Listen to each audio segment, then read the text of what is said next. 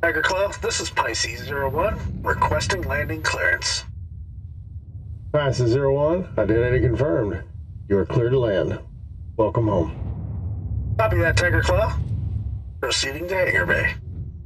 Welcome, everybody. My name is Fist25, and today we're going to be embarking on a deep dive into the lore, function, aesthetic, and capabilities of the Anvil Carrack, the Anvil Pisces, which I'm flying in now, and the Ursa Rover. Before we begin, I need to land this Pisces, and I'll meet you inside the Carrack.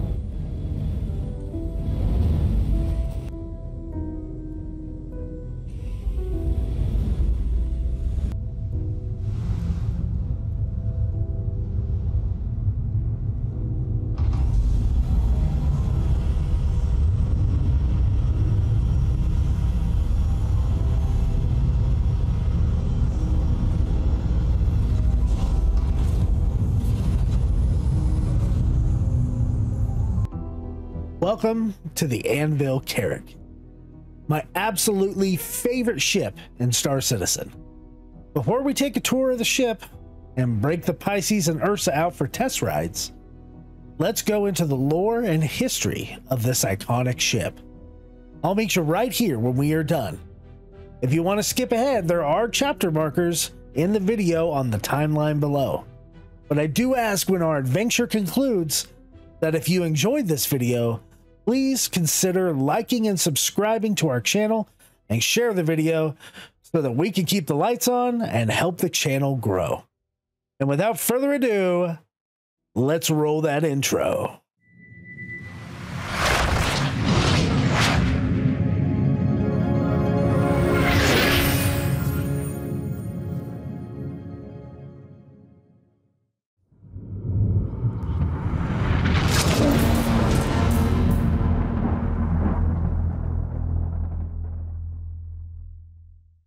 In 2823, 129 years ago in lore, the UEES Carrack was the first ship of her name to come off the Anvil assembly line. She is designated as R11, with the R standing for research, and the first one being the size classification of larger than 65 meters, and the second one being that she is the first ship of her class. The Carrack was a military project at first. He is an explorer. He is a researcher.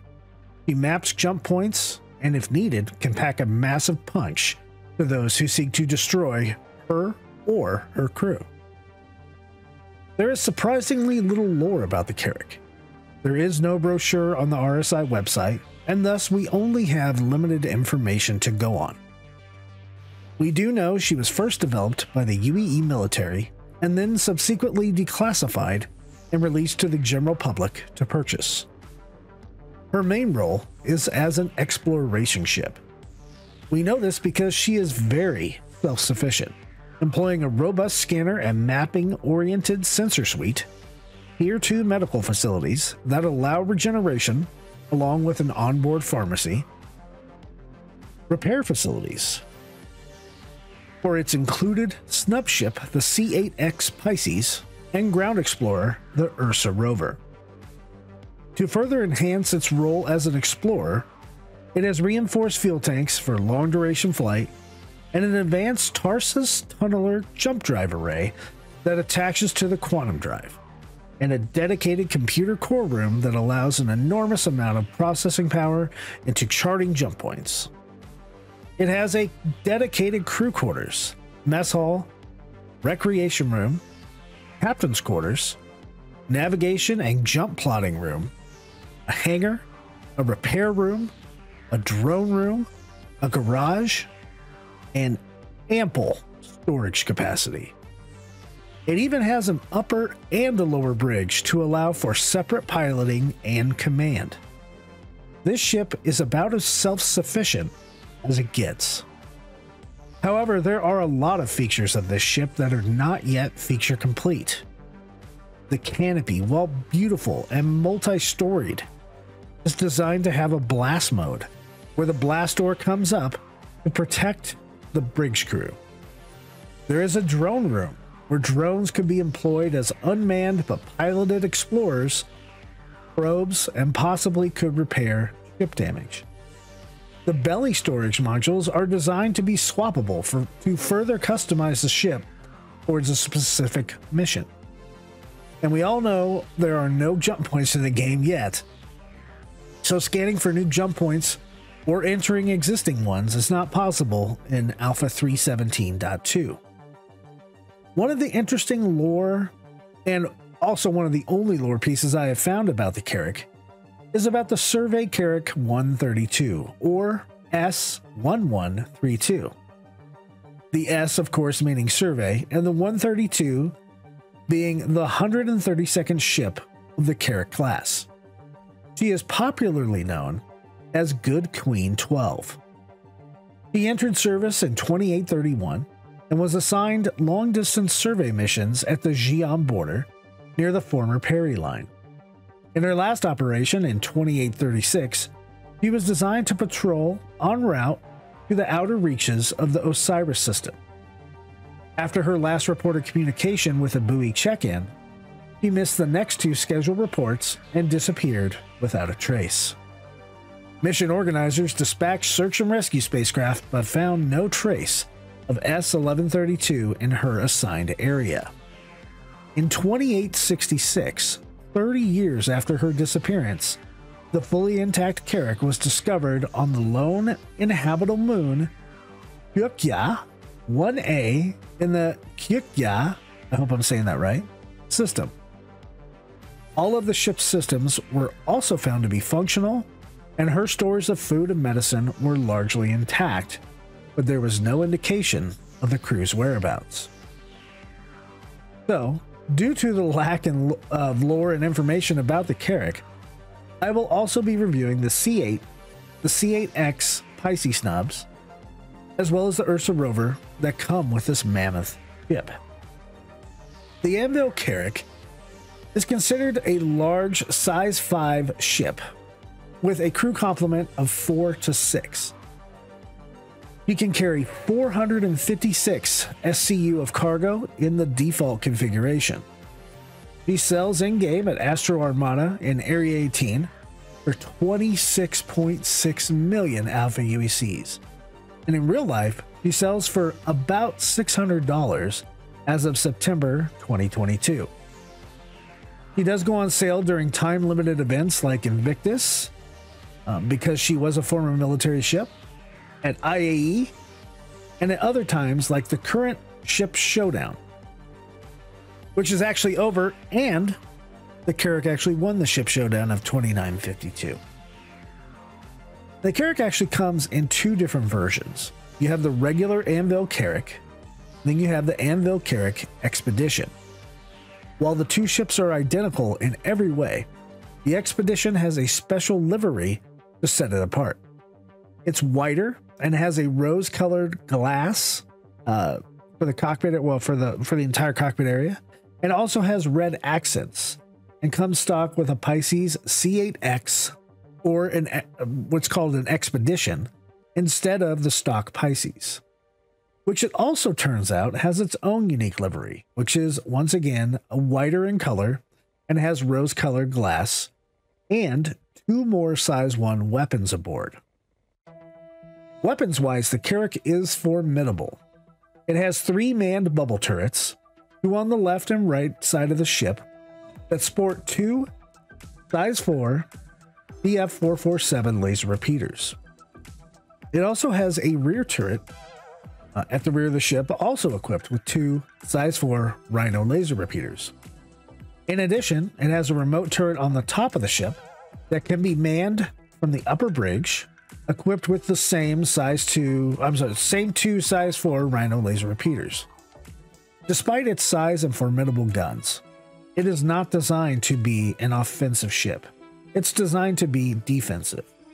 It doesn't have any missiles. It does sport a reinforced hull with 93,000 hull hit points and two size 3 shields, which are industrial Barbican grade B shields. It continues the industrial component tradition with a single size 3 Reliance industrial grade B power plant. It has twin ice flush industrial grade B coolers, and possibly the slowest but most fuel efficient quantum drives in the game, the industrial grade C Kama. In maneuverability, it has 22 thrusters, four of them being main engines, and of those engines being nearly two of those engines being uh, twice as powerful as the others. It has two retro thrusters that are honestly are not that great.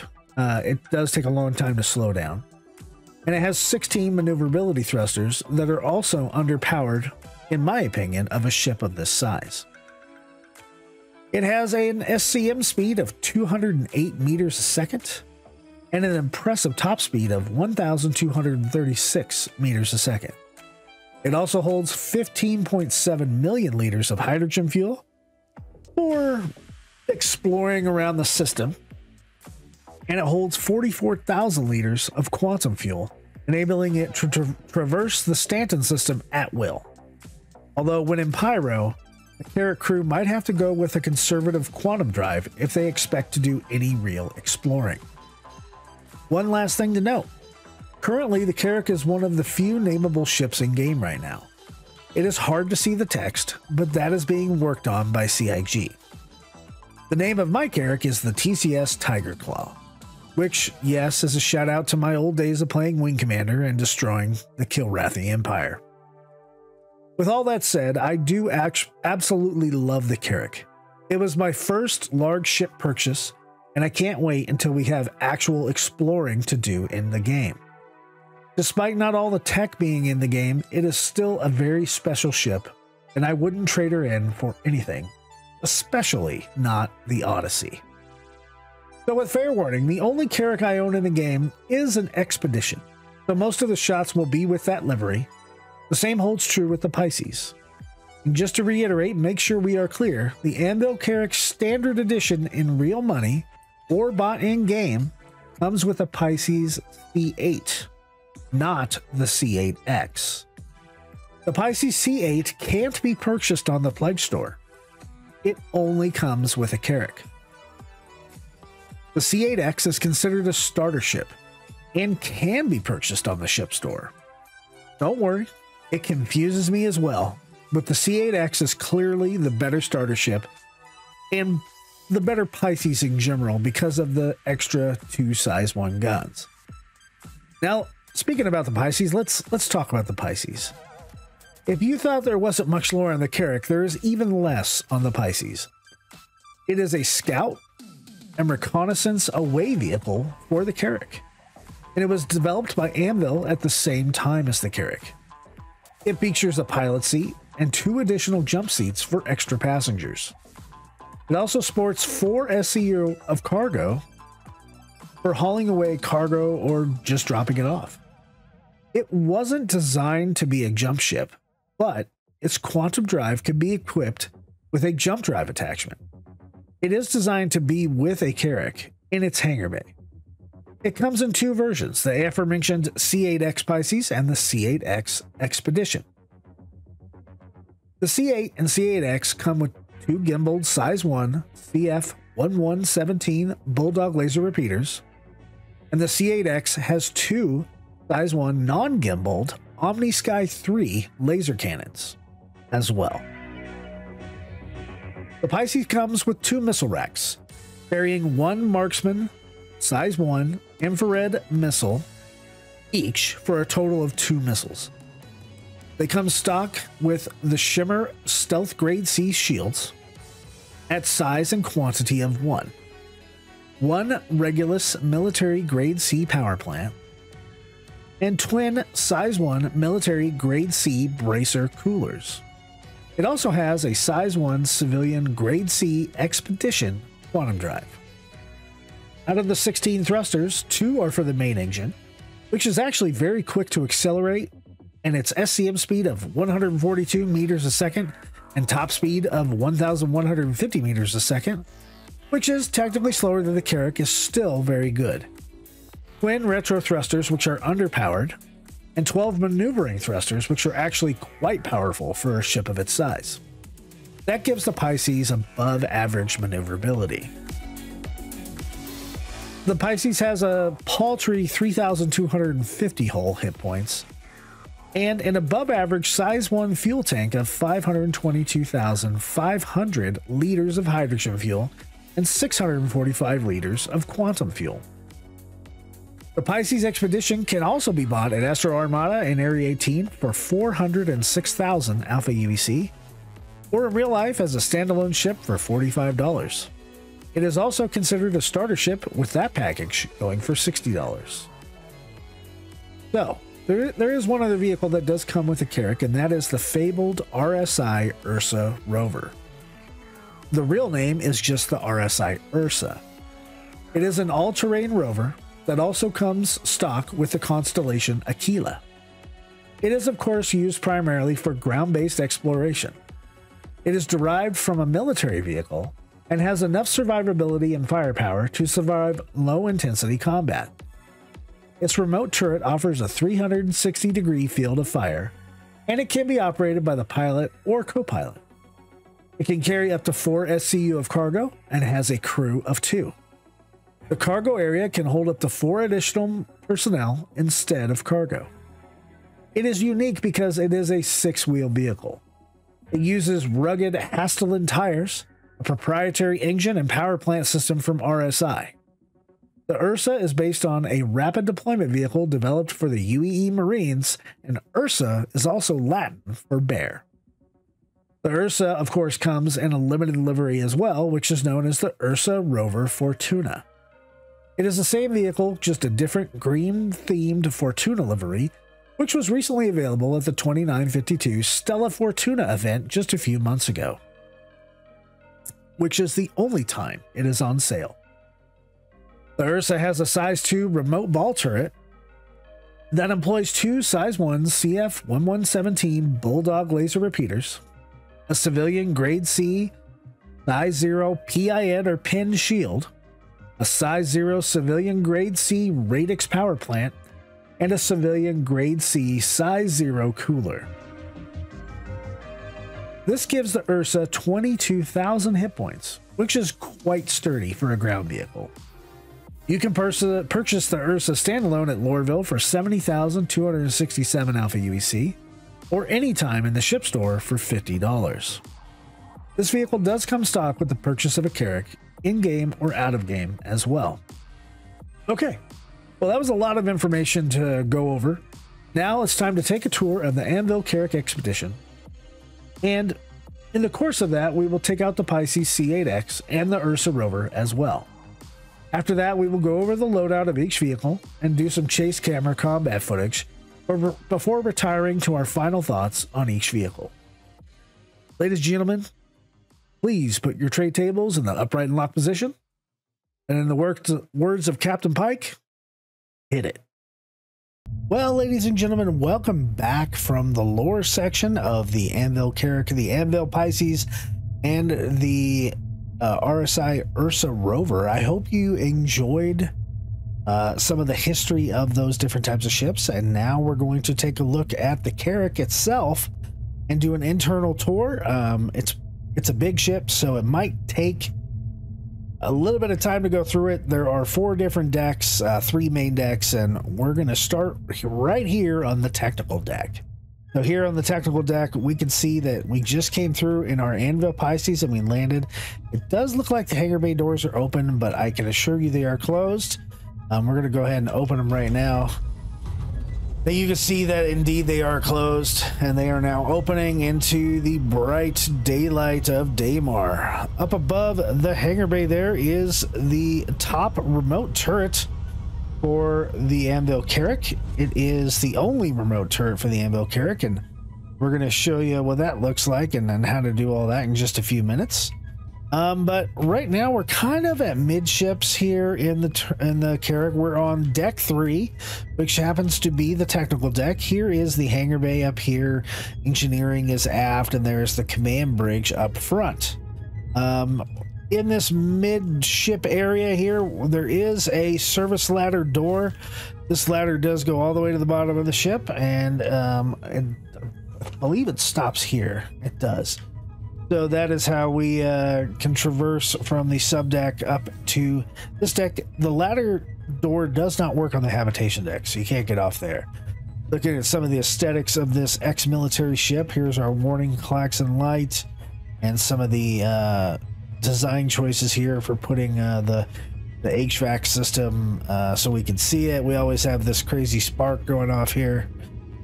Uh, but let's move forward here a little bit and we will go ahead and enter the drone room. Um, this room is completely pointless right now because drones are not a thing in the game, but they will be one day.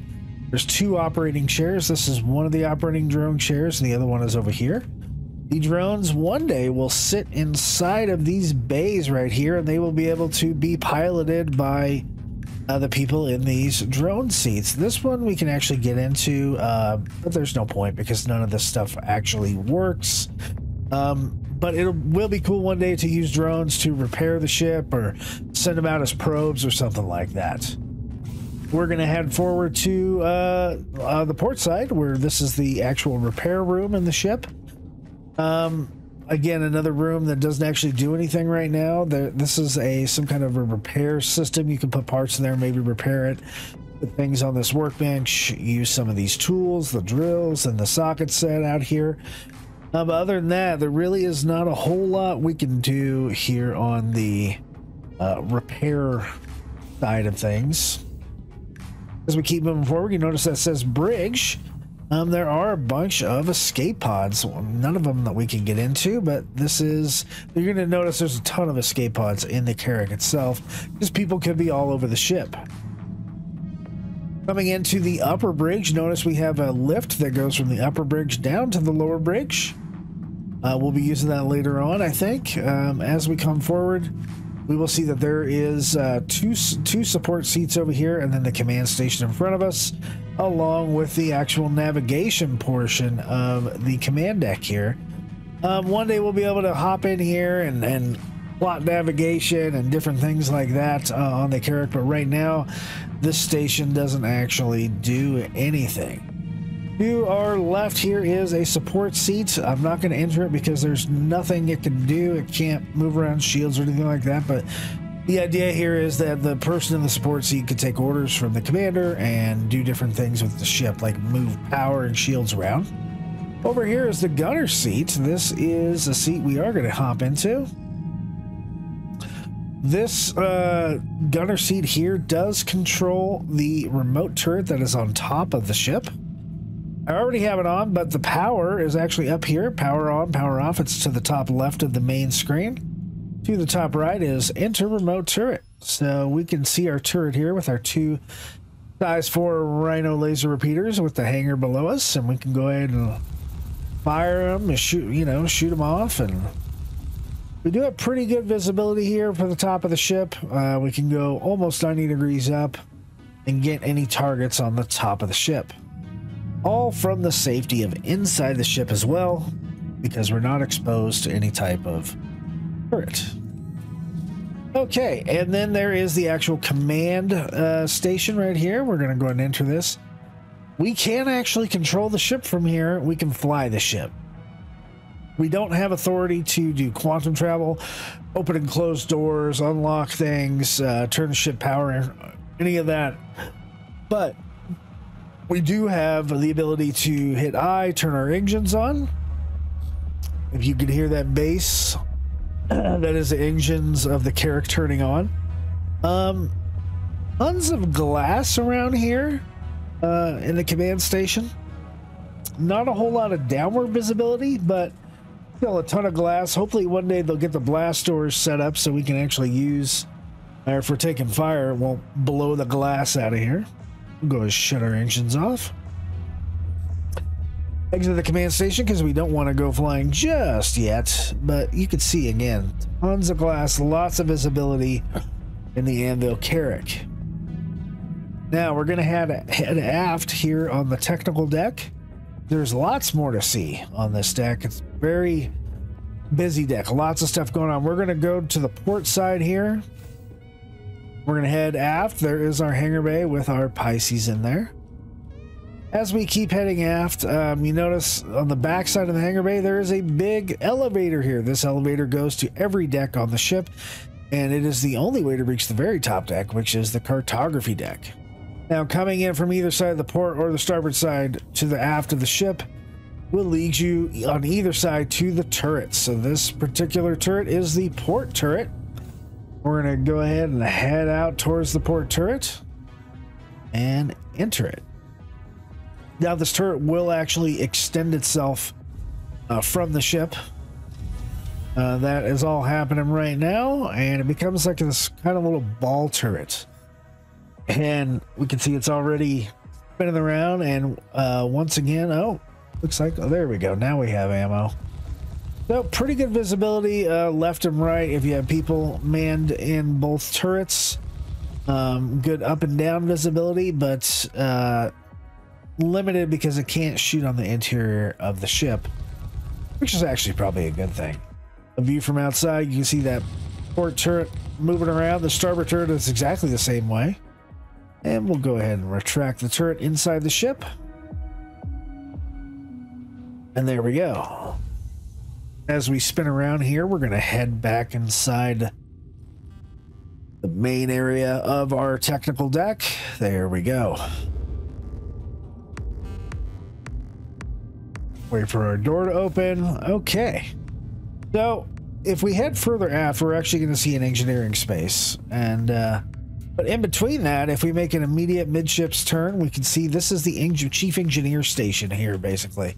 You can't do anything with this control unit, but you kind of kind of could oversee people working on the engines and in the engineering spaces from this point of the ship. Heading over to the starboard side, you can see that it's exactly the same as the port. It's a symmetrical ship. And over here is actually the starboard turret, uh, which we're not going to show because it's the exact same thing as the port turret.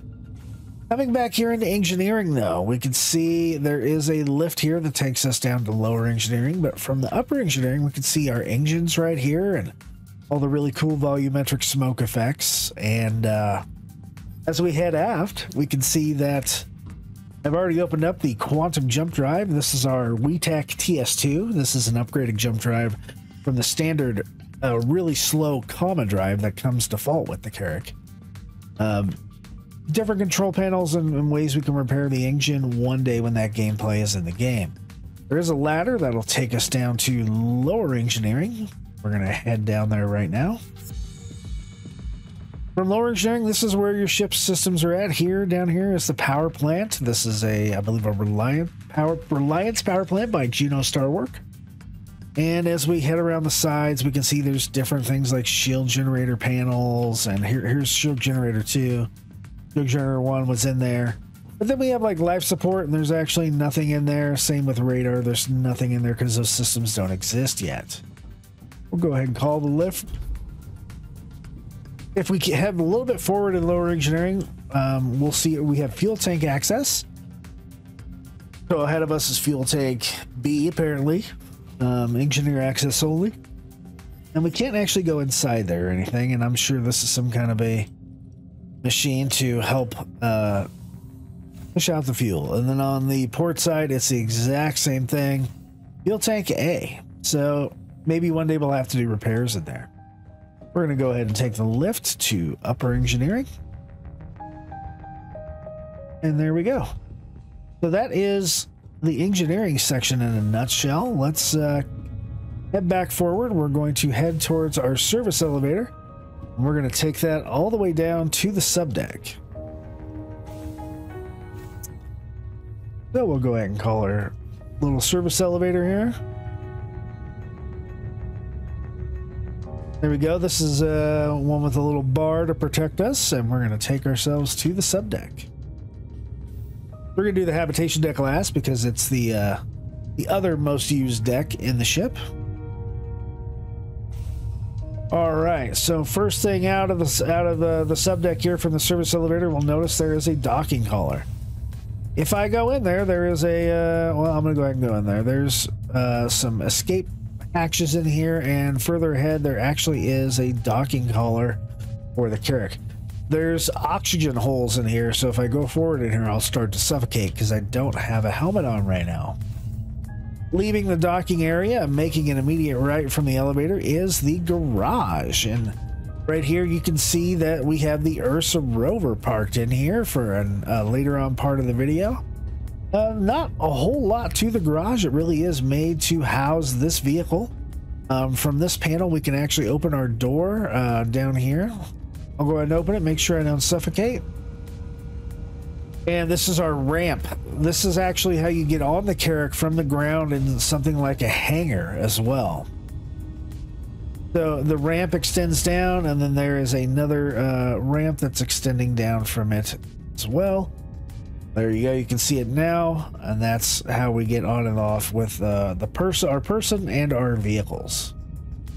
We're gonna go ahead and leave that open. We'll close that up uh, when we hit the uh, pilot seat. But there's also this button here. This raises and lowers this ramp right here. So I like to leave it up when I have a vehicle parked in here so I know I have access uh, cleared into the different cargo bays. The last door inside the garage is actually our, our service ladder door, and the, here is our service ladder. We can go all the way up to the technical deck on, but we can't stop at the habitation area. All right, now let's check out the cargo bays in here. There are three cargo bays on the Anvil Carrack, and they are very spacious. We're up here on the catwalk in cargo bay one. We're actually going to take a lift down into the cargo pod. And you can see there is quite a bit of room uh, on the Carrack to uh, put cargo in. Um, there is no outside access right now, uh, so everything's done internally. Um, we're going to take the elevator up to the catwalk, but hopefully in the future we'll be able to swap these modules out for something else as well. Don't close on me, door. Here is cargo bay door number two, or cargo bay number two, and then uh, we have a third cargo bay. So the, the, the can fit an enormous amount of cargo in here, and that's a really good thing. Okay, there we go. Last door. So now, keep in mind, here's the elevator. So we're pretty far aft uh, on the ship. Um, on the sides here, on this subdeck area, there is a weapons locker. So we can store weapons in there for uh, use one day, and it's actually on both sides. And then, once again, more escape pods. Six escape pods, because this is a crew of six. If we come around either side, back aft, you can see it's the same on both sides. Uh, here is our aft turret. This is a manned turret. We're going to go ahead and enter it. We're going to spin around and go down a little bit. But here's the actual aft turret. And there we go. So we're facing aft of the ship right now. So this is like if you're coming in for a ground target and you're trying to clear out some turrets or something like that. This is the turret that you want because this will shoot the ground. Other than that, it's pretty much standard turret. Turret to size 4 Rhino 447 laser repeaters, which is the same for all the turrets on the ship. Okay, exiting the turret right there, and boom. We'll go ahead and uh, come on the port side of the ship. I think the port side of the ship. We're going to take the. I got confused there. We're going to call the elevator and we're going to take it all the way up to the cartography deck, which once again you can only access from the main elevator. Notice the doors right here that we're leading up. The cartography deck door is actually behind you. And as we come in, deck four, you can see here is the cartography area. There is a cartography station right here, but it doesn't do anything right now. Um, you can see there's some kind of a solar system plotted around here, and it's it's a cool looking room. But there is no gameplay for this. We can't plot jumps or search for jump holes or anything like that from the cartography room. Oh, Squirrel Lord's trying to I'm making a video, Squirrel Lord. Sorry, buddy. Um, from these other doors here, we uh, can see there's uh, once again another escape pod. Uh, you'll get we're kind of at the top of the ship here, so we got a really nice view of Daymar out here. More escape pods over here, so three on each side. That gives us another six. There's a door for an airlock here, and uh, now we're looking at the forward part of the ship because there's our hangar bay down below us. And what we can do from here is we can actually go through this door and EVA out onto the sides of the of the very top of the ship. And if the hangar bay door was closed, we could walk around uh, on top of the hangar bay. So maybe if we need to do a repair, some hole scraping, or whatever to the ship, we can actually get access to the top of the ship from this room up here on the cartography deck through either EVA door. All right, and that, like I said, that that's short and sweet stuff of the uh, the cartography deck. There's not a whole lot to it, and we're gonna go to the last deck here.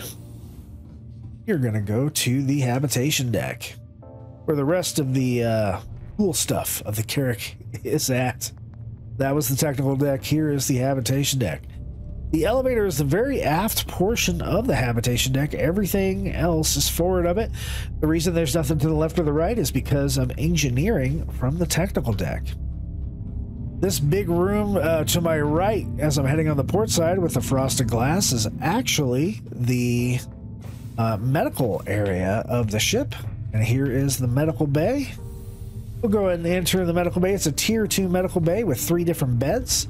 There's bed number one, bed number two, and inside this main area is the main medical bed.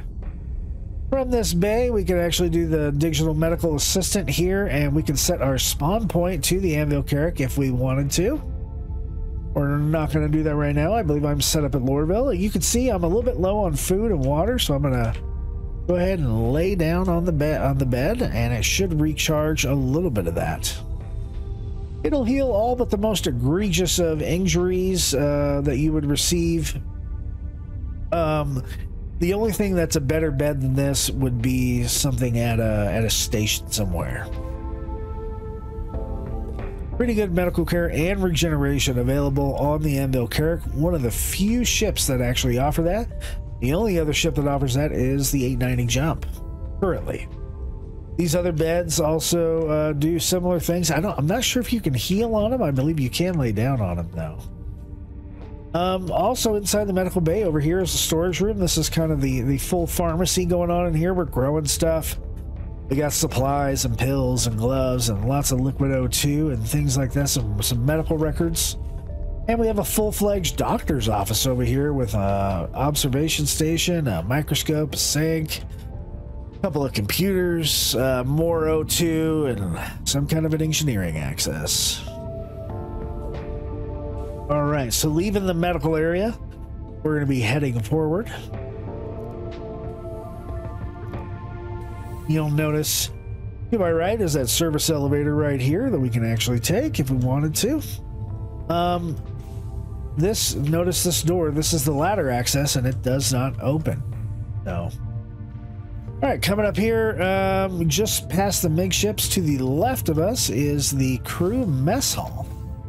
Inside the mess hall is a nice little table the crew can sit here and eat at. You know, uh, plates and stuff like that are up here, and silverware. Uh, nice little viewport here of the setting sun on Daymar, as well as a microwave and whatever other stuff they would need. On the opposite side of that is actually the crew habitation area for everyone except the captain. Here they have kind of a rec room here with space billiards and things like that. And here is uh, the toilet section of the Carrack. Not very fancy, couple sinks, uh, couple actual toilets in there, um, toilet paper, things like that. Going in this other room here in the from the billiards room is actually the habitation sleeping area. There's one, two, three, four, five bunks available, um, with the captain being the sixth in his own dorm. So in here is going to be your inventory for the ship and kind of the locker room for the crew. And then over here is the other hygiene area, the shower station for the Carrack. The two full showers for the crew of five, which is pretty good if you ask me. I had it much worse when I was in the actual uh, Navy. So All right, leaving the crew habitation and rec room area, we're gonna he- keep heading forward here, and we're gonna make a left on the port side to the captain's dorm. So the captain of the ship actually gets his own dorm room with his own office here. His office, you can see there's a little station, a nice little chair, some decoration, things like that. A chessboard and some other stuff to look at. Into this room is the captain's bed uh, with his very own teddy bear, as well as the captain's uh, inventory and place to hang his jackets. And then there's the captain's bed with full toilet and shower, nice sink. The captain has it pretty good here on the Carrack. Lots of space for them. And last stop heading forward, bright white area. This is the actual main bridge. And again, what we score and call this elevator to show you it does work. It takes you to the upper bridge if you need it, or down to the lower bridge. This is uh, an open space for a radar area. I opened it before. Again, nothing in there. The other part of this lower bridge is actually this the server core access. So there's one, two, three, four, five, six, seven, eight main uh, server computer core areas in here. There are two co-pilot seats, one right here and one right here. But we're going to go ahead and enter the main pilot seat right here. The pilot is the only one that can enter quantum uh, on the ship, and it, the only one that can turn power off on the ship using the inner thought up here. Um, power is to the very top left of the left MFD. Engine on, engine off as well. On the right is open and close the exterior and press to unlock. Let's go ahead and close the exterior. We'll see that our hangar bay door and our front door are indeed closing. So pretty easy to get to. There's only so many buttons on the Carrack. Our hangar's closed. We can see the very front part of our ship with the Ursa rover in there is also now lifting up and starting to close. I'll go ahead and turn the lights on. Whoa, that was very bright. Those are the lights on the Carrack. Not super bright, but good enough to light up a very dark Daymar. All right, so reset our view here. Go back into the pilot area here. We do have four MFD, uh, five MFDs. One, two, three, four, five. Um, and we do have a radar here on the bottom. The actual pilot has pretty good view space towards the bottom of the ship as they sit pretty much over that for that top landing gear and good view space around the top as well.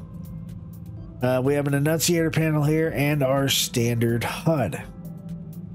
So that is actually pretty much it for the Anvil Carrack interior tour, guys. Um, I hope you had a good time looking at it. I hope it was quick enough for you. There's a ton of stuff to show.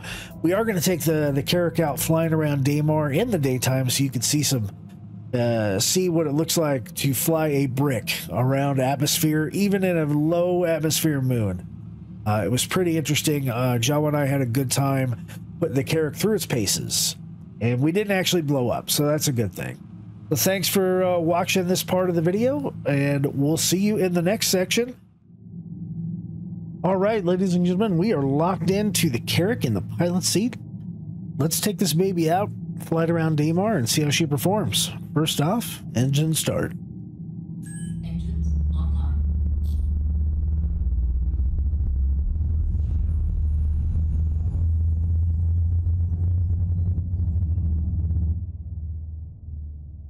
All right, engines are started up. Let's go ahead and lift off. Here we go. Nice lift off there. Go ahead and rotate those landing gear up. Little sandstorm here on Daymar. You can see that the when the gear go up, the the turret spindle deal kind of goes back. Lets us know we're in flight mode. All right, let's take off. I'm gonna put it into SCM mode right now. Cruising around, I don't know, 180, something like that, almost 200. And we're just gonna cruise around Daymar a little bit and uh, see how she handles. Here we go.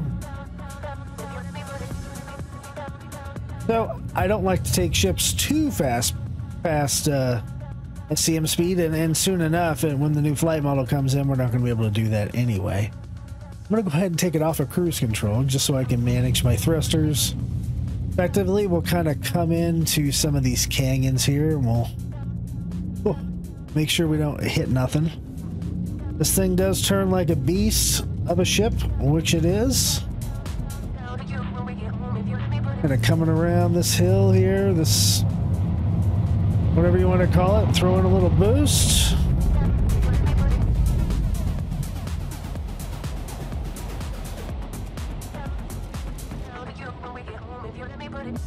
There we go. She can be a monster to control sometimes. I like the look of this little canyon ahead of me. Let's go ahead and see what it's made of.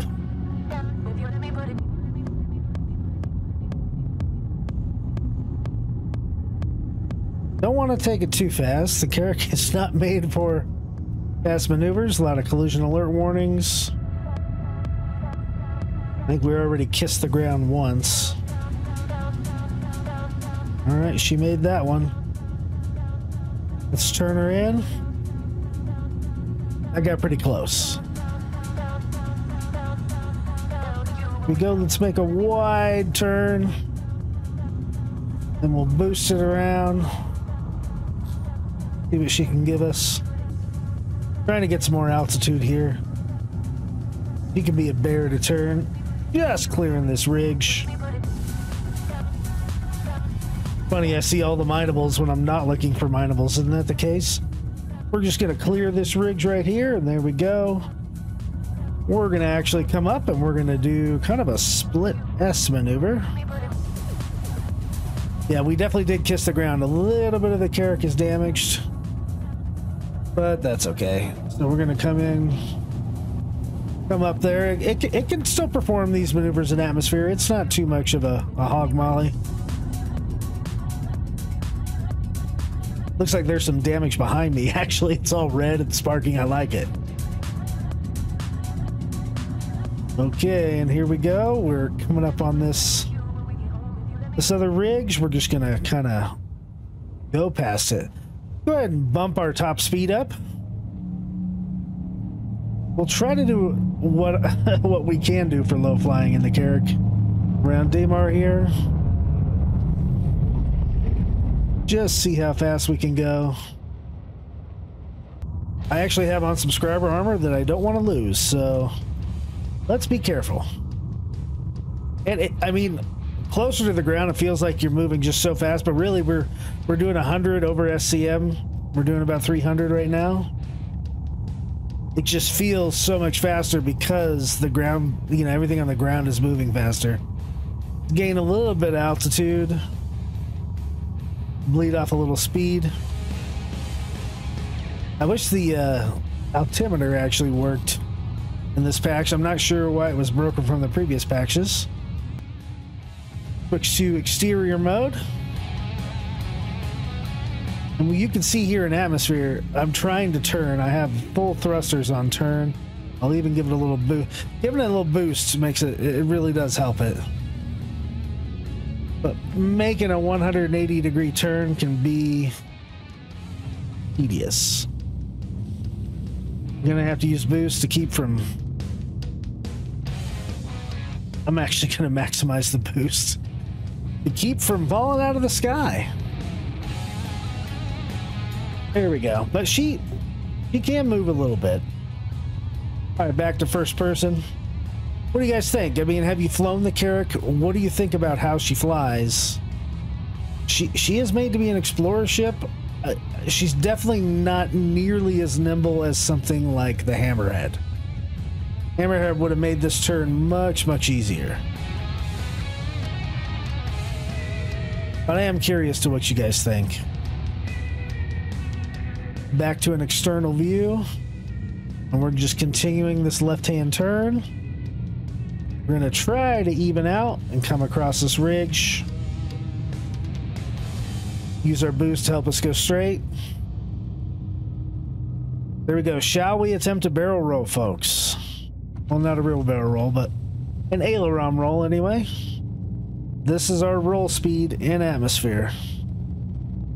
not great. Still trying to move forward. All right, we're finally upside down. And coming over quicker on the downside here. Very nice. I like that crater right there. I kind of want to fly through it. All right, so there's our roll. What'd you guys think?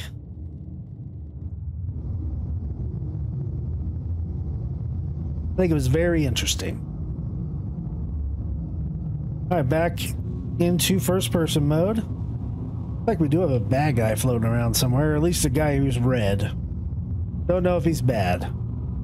I'm gonna kick our max throttle back to max SCM there.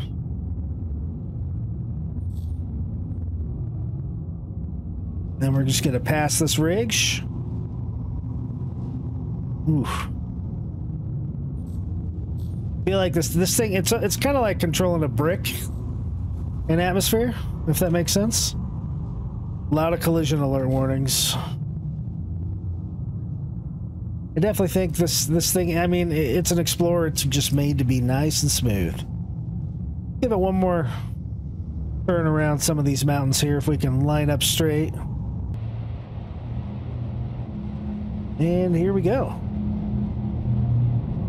Coming around the side of this mountain here.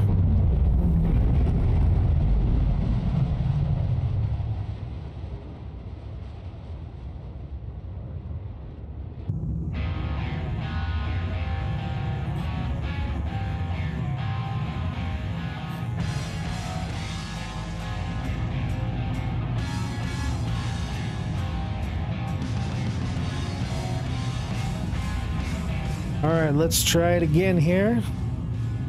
Coming around these uh, these mountains, you gotta adjust urban 3D space here. Woohoo! Nice right turn there. Little boost around it.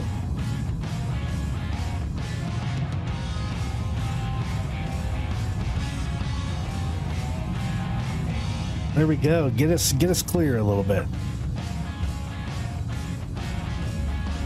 Well, I'm going to try to find our station here.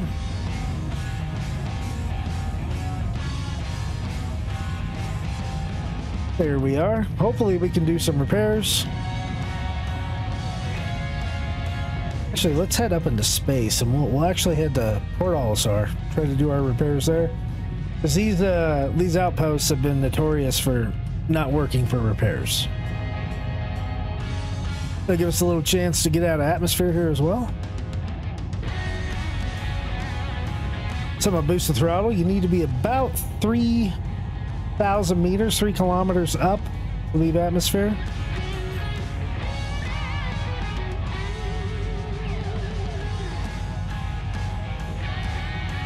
We're still climbing.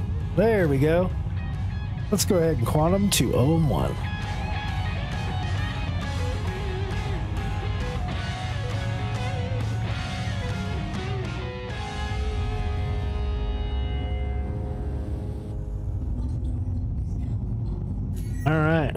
Now that we are in space, we're going to head to Port Olisar if we can. If we can find Crusader, that is.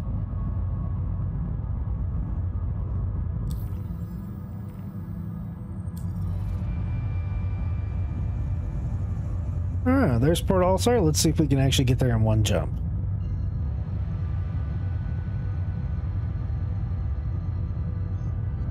Here we go.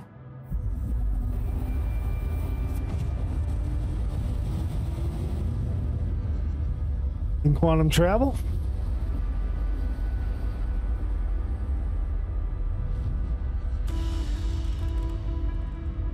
And of course, we're not actually at Port Olisar. It is, uh, we basically just went to Crusader instead of PO. It's still a little ways out.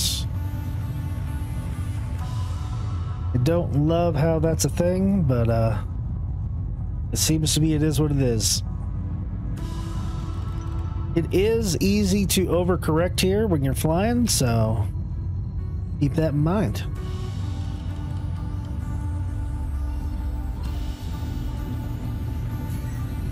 Ooh, we definitely have some bogeys at PO. What's going on in this server? I do not know.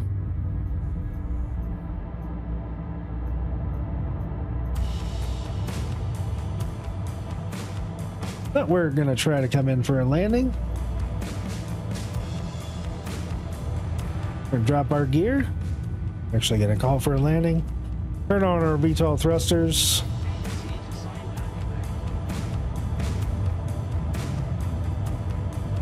And we get the big pad here. Let's try to do this externally here.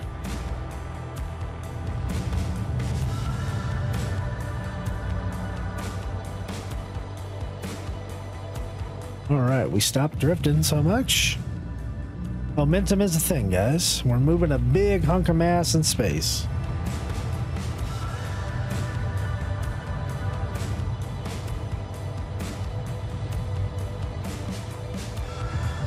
All right, coming in for a landing at PL. Pardon me. We always go farther than what we think, I think. Just because of this angle. And nice and gentle. Right there on PO. And there we go. We're here at PO. Time to repair, refuel, rearm.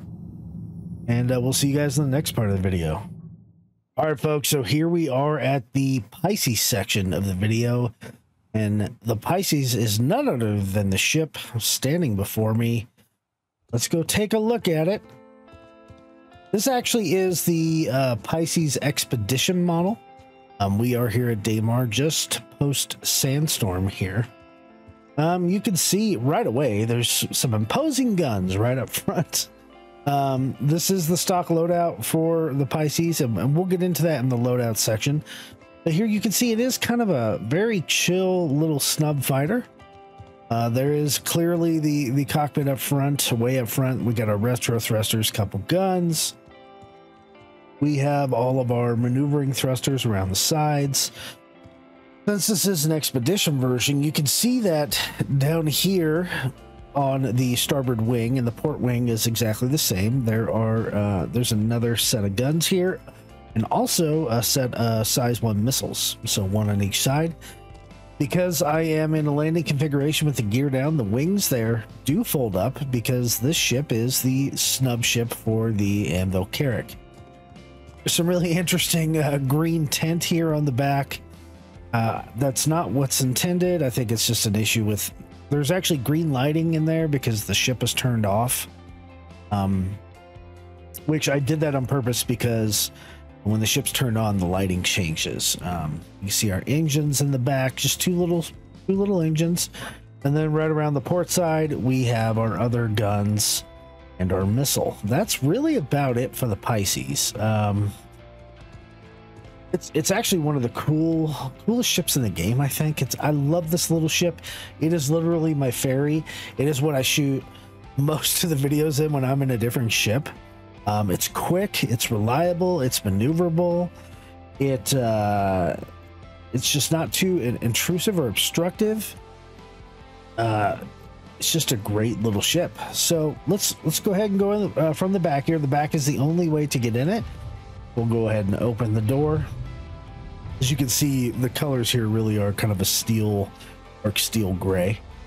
Um, because we're at Daymar, we still have this band of whatever it is here. That's that's something with Daymar, something like the planets, whether it's yellow or white or whatever.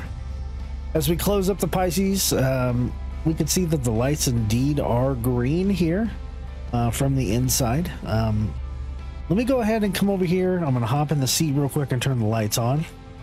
So notice everything is green. And we're just going to turn, we're going to turn everything on real quick. There we go. Okay, so significant change in lighting, right? Um, it does even go red sometimes because these are kind of these weird yellow red lights. But uh, from the back here, you can see this is the cargo area of the Pisces. It does hold four SCU of cargo. Um, we will definitely, uh, you probably saw that in the beginning video, the lore video. There are two jump seats as well in the Pisces, so you can ferry passengers as well as cargo. So this is uh, the perfect away ship. Um, it can carry at least three crew members and a little bit of cargo to take you where you need to go. It's got a ramp for easy in and out. It's just, uh, it's a cool ship. As far as interactability, I don't really think it's been fleshed out that much. I don't see anything here. Um, can't access anything in and around the Pisces for components. Um, we could get in the jump seat if we wanted to. Um, there's nothing with the scanner, the shield generator. There's no other buttons or interactability we can give us. So we'll go ahead and hop into this jump seat. And what helps this is uh, as you're flying around, you're not going to really see, you know, you're not going to be thrown around the Pisces very much. Uh, so, and that's a good thing. So, really, not much to it. Let's go ahead and hop into the pilot seat. We'll do a quick uh, cockpit tour and then we'll go flying around atmosphere and space. Check out the Pisces. Might even do, it is a dogfighter too, so might even do a dogfighting mission. So, uh, looking around the cockpit from the left, there's one, two, three, four, five, six multifunction displays. That's a lot for a little ship. Uh, the main default loadout looks like we have a targeting, comms, uh, our systems, our shields and ship status, target again, and then actual shield. So actually good default screens here. I'm not sure why it says my shields are down because they're definitely not down. Um, anyway, let's look at buttons here. There's the power on and off button. Our warning panel, uh, pretty much a 3D radar up here. It is an Anvil manufactured ship. I'm looking for the, there's an engine on and off. Really looking for, there it is. Open exterior, press to unlock. So that's how we can open the back ramp. Uh, our exit all the way on one end. Uh, standard HUD. Let's take a look at the glass. Decent uh, view from the glass here. There's no down view or anything like that. Um, there's no buttons on the sticks or anything below. I do not feel an ejection. I don't remember if this ship has an ejection or not. I don't feel it does. Let's take a view from the outside of the Pisces. I'm landed here at Area 141. We can see it. It's just this tight little compact snub ship. It's perfectly and it was made for and designed to fit into the Pisces. Um, really good viewpoint here from the cockpit. Just small, fun. It's like a little bite-sized carrot, right? Not really.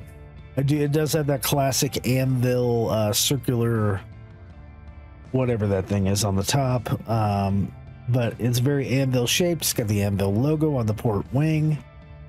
There we go. Let's uh, go ahead and reset the view here and take off just a little bit. You see, it's got four actual landing gear that we will cycle up. Boom, and then the wings come down. Looks pretty good. Looks good from there. Let's go ahead and uh, we'll back off a little bit and we will go ahead and uh, fly around the atmosphere a little bit. What do you guys say? All right, so here we go. Oh, let me make sure it's at SCM. But this is SCM, as the ship is just flying around uh, 141 here. Some, some good sized mountains around here. Um, we can see as we come with this roll, the ship feels really good. Here's a first person view. Come around the backside of this mountain. Swap back over to third person. So, right now I am flying with mouse and keyboard and not my sticks, um, which was what I do most of my flying in. We'll head back towards 141, and let's give it some gas, guys. All the way up. Woohoo! You can see the ship does does haul, and uh, it is pretty darn maneuverable. We'll give it a little bit of boost. That's a 180 here. And it did not take that long to get it there. Full turnaround. Coming around this mountain. So, uh, of course, just like, it's not a fighter craft, but just like anything else, uh, it, it does have a, little bit of reluctance to turn. Um, but it actually feels to me really good in atmosphere. It feels like it's it really is the perfect complement to um, an exploring ship like a Carrack. Whew, came close there. Go back into the cockpit, see what that looks like. And we can see we're I mean we're coming around different kind of kind of mountains here. There's a little bit of that dust storm coming in. Got to make sure to keep my altitude up. You can see how far my deflection is on my on the ship. So, I mean, it's moving really well. And if it moves this good in atmosphere, imagine how good it's going to actually move in space. But let's let's test our speeds here. In atmosphere, looks like SCM is 140. We'll see if we can get our maximum to without boost. Trying not to hit any mountains. I mean, we're we're clearly going to go past 500. This uh, this ship actually has really good sound when you're passing people as well. Um, so here at Daymar, we're. I mean, it's going slow, but I definitely think it's it can surpass. Uh, right now, we're holding steady right around 550, 548, something like that. I definitely think it can surpass 600, maybe even 700 with boost. But let's head up into space and see what this thing feels like in space. I wish uh, CIG would fix the altitude, the altimeter there. I it really irritates me that it doesn't track. All right, let's do a uh, stock quantum jump here.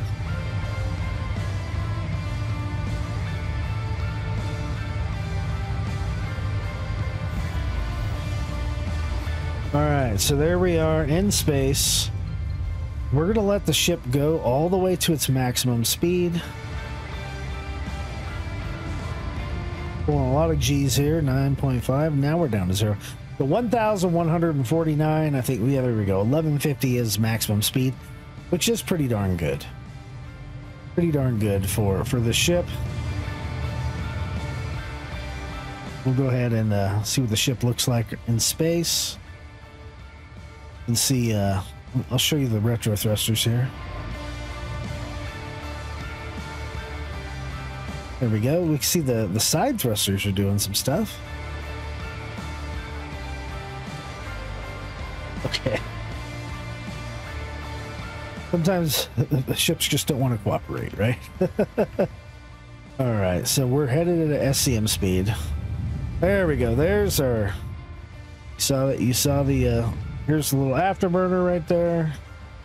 And as far as retro thrustering, see it on the kind of on the bottom there. They're like a bottom vent. Those are our retro thrusters. They're not. They're not those uh, vents on the front. Although I think that's what they were probably supposed to be. So let's. uh Ooh, what a what a pretty picture of Crusader and Daymar right there. What do you guys think of that? All right, let's go uh, find a mission or something like that, and uh, we'll get back to it. Stay tuned. All right, guys, so we are coming up on our target here. Um, I just took a quick dogfighting mission. I'm trying not to hit any asteroids here. Oh, it's super bright, lots of sun. And here we go. Um, we're looking just to take this guy out. We do. I didn't change out any of the stock weapons, so we do have uh, two uh, of the Bulldog laser repeaters and two of the Omnisky 3s, uh, which are laser cannons. Um, we are going to bump up our... There we go. We're going to... We're going to bump up our weapons just a little bit so we have a little more in reserve. And we'll give uh, the ship just a little more gas. Okay. The Pisces is kind of a I think it's a unique ship. It, it, it's it's small, it's compact, part of the Carrack. It's good for away missions. It can do dogfighting. It can carry a little bit of cargo. It can carry your friends. There's a lot it can do. So just keep that in mind. Oh, we got some uh, we got some for some hostiles here. Um, we do have gimbal weapons as well. Gonna release our countermeasures.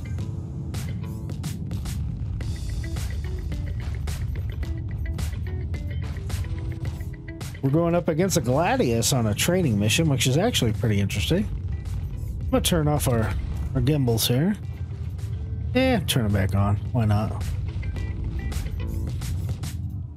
Gladius is significantly faster than the Pisces far as maneuverability goes, but it dies just like everybody else.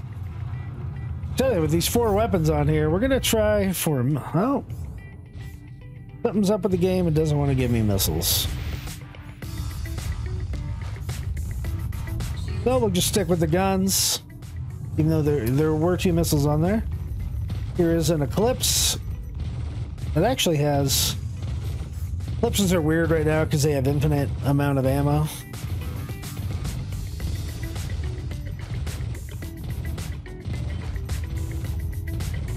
So, come on. Come on, fella. Kind of a weird scenario. Okay. It's ballistics, even though they're small. We're doing quite a bit of damage. The Pisces does not have great stock shields. So we are shields critical. We're going to go back to normal. Charge our shield. Hopefully not die.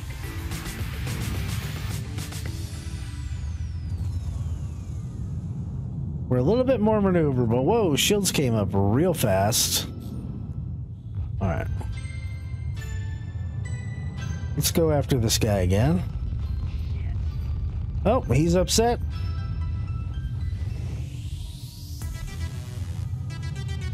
He's definitely not in torpedo range, I can tell you that. Weapons are recharging pretty quick here on the Pisces. Why these guys take so long to kill? And their movements here kind of befuddles me. Just jousting after joust.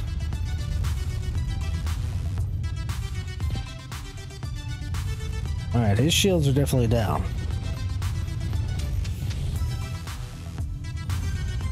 And, you know, I am play fighting here with mouse and keyboard, so... Whoa! That was weird. So he jumped, and now he's gone. So we lost that guy. Not sure what happened. Not sure if he blew up on an asteroid or if he jumped. I don't know. That was really weird. But uh, sometimes uh, Star Citizen can be a bit weird. So, with that, what do you uh, think of the Pisces dogfight there? Not too bad. Uh, a lot of the times when I'm filming, if Jawa runs into something, I have to mop up the rest of everybody with the Pisces. Uh, so, it is capable. And that's really about it, guys. I think it's time we, uh, I guess, jump to the next section of the video, and we'll see you there. Well, hey, folks, as many of you know, this video has taken forever to get out, and while I've been filming it for a while, um, IAE has come and went, and we have a brand new ship, and uh, that is the C8R Pisces Rescue. So, uh, in an attempt to make this video more complete, um, I'm going to show off the Anvil C8R Rescue, and we're going to talk about that, flying around just a little bit. Uh, but first things first, I want to get into the mobiGlas real quick and show you. Okay, so the Anvil C8R Pisces Rescue, brand new ship revealed at IAE this year. It is a variant of the Pisces, and it is a medical Pisces. It has the lowest tiered medical bed uh, that you can get, uh, very similar to a uh, Drake Cutlass Red, but with obvious less space. Uh, it's a little bit different of a Pisces. Uh, as you can see right here, and this has the default uh, C8R rescue paint, which is a red and a white. Um, the ship has two guns, kind of hard to see, uh, but only has two guns, kind of like the regular uh, C8 Pisces. Uh, when we go through the systems, we can see that it has it comes with a bracer, cooler, size one, grade three, uh, military, grade C. Uh, power plant is a Regulus, which is a military grade C. See the theme here. Quantum drive is an expedition, uh, which is a civilian grade C. Uh, so not the fastest. And for some reason, it comes with a shimmer st- uh, shield generator, which actually is a stealth grade C. So it's very kind of an odd combination there. Um, I like the military coolers and power plant, but I don't even mind the expedition uh, quantum drive. But the the shimmer shield generator is something I think you're going to want to upgrade uh, probably pretty quickly. If you plan to have any real survivability in this ship, I would go with an FR 86. I'm sorry, FR 66, because it's the size one shield. Um, or the civilian equivalent, which I believe is the 7CA or something like that. Um, looking at weapons, uh, it does carry two missiles. They're both size one. The defaults is the marksman uh, infrared size ones. It also has it comes with uh, two CF-117 Bulldog laser repeaters that are set on set on gimbals. They are size one mounts. Nice that they gave us gimbals to go with it. It takes nothing away from the size of the gun because the mount is a size one. So actually a decent weapon loadout stock. I wouldn't even bother changing it because you're not really going to get into a lot of fights in this. Um, it does have some some cool paints. Not only can you put the regular Pisces paint on there, like the Scrubland camo and the Nightbreak, you can put what's called the Heartbeat livery on here, which is kind of a kind of a weird hazard looking livery paint job, yellow and red. It's it's it's it's interesting. I don't like it as much as stock. Um, the one I do like is the C8 Pisces Responder livery, uh, which is very nice actually. And uh, there's another one that comes with concierge. I'm not sure why I don't have it. I need to pick it up. It is called the Code Blue livery. Um, see if I can put a picture of it up in the video. And it is uh, has it's basically the Blue Cross, Blue Cross Blue Shield of Star Citizen. Um, but I like the regular red, white, and black livery with this. And so there we go. That is the Pisces uh, rescue. Let's uh, now let's go take a look at the ship itself. All right, ladies and gents. So there she is. This is the Pisces C8R, the rescue version here. As you can see up front, I mean, it looks just like any other Pisces from the outside, um, except for the it only has two guns, just like the C8R, and they are on gimbals, size ones. Got a cool little paint job here. Um, you can see the missiles under the port side right here next to the thrusters. There is a big change here we're going to get to in a minute, um, but I do want to show you the back side of the Pisces here. And the starboard side, it's symmetrical ship, so it's the same as the front side. Now, here is the, the big difference. Um, notice the door, you don't just click to get in anymore. There actually is a panel here on the side. Now, this panel has been retrofitted into the C8 and the C8 uh, Expedition, the C8X. And currently in 317.4, it is broken for most people. I guess some people have it working, but like on my C8X, I can't use it. I can't get into it um, because this door is here, and I guess CIG forgot to connect the button to actually open the door or something like that, but it is broken. But to open the door on the C8R, which this was built for, you just uh, highlight it and click it. The door opens. Now, I already did a first look video on this, but I just wanted to make sure that's part of this as the uh, deep dive on the Pisces and the Carrack. There isn't much lore for this rescue version. I'm sure that's coming at some point. But there's a nice little plus sign there on the bottom. And then as we walk in, um, we can see there is um, what appears to be a future component access, a jump drive, coolers. Um, nothing I can see is interactable with this. Um, more coolers, power plant, things like that. To close the rear hatch, you just go to this closed door right there, the, the panel, and it will close up the rear hatch. There is a set of medical doors that were here just a second ago. We're going to use this panel to close them. But just like in the Carrack, it's that frosted glass type of look. we're going to go ahead and open them. They do open automatically as you kind of come in. As you look to the right, you can see the med bed of the C8R. Um, it is a, a, I think if they call it a tier. I think tier three is the worst bed, so it is a tier three, but it'll heal, you know, a lot of injuries and get you up. It won't fix any tier two or tier one injuries. Over here, we got some O2 canisters, some some good uh, flavor graphics, basically.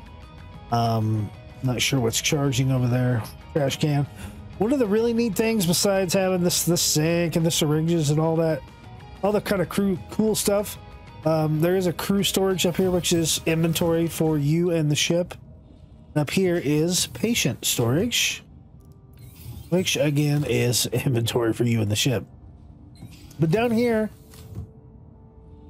is a sliding glass uh, storage cabinet. And in here is water and some power bars and some uh, med pens and things like that. Things you can actually use, um, like the power bar I just grabbed, which I can't eat, so I'm going to go ahead and drop that.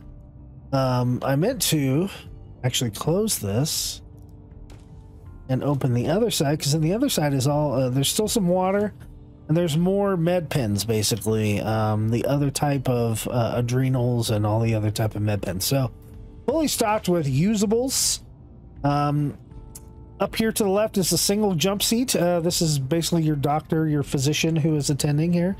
And to the right uh, is the digital medical assistant where they can administer treatments. Other than that guys it's it's a it's pretty much like any other stock pisces. There's no other interactables in here. This never really got the gold standard pass. Let's give the uh the old pisces a quick uh check here in the the cockpit department we'll just check it out real quick i'm gonna rely on my review that i've already done on this if you want more information, uh, or you can watch the Pisces or the expedition video.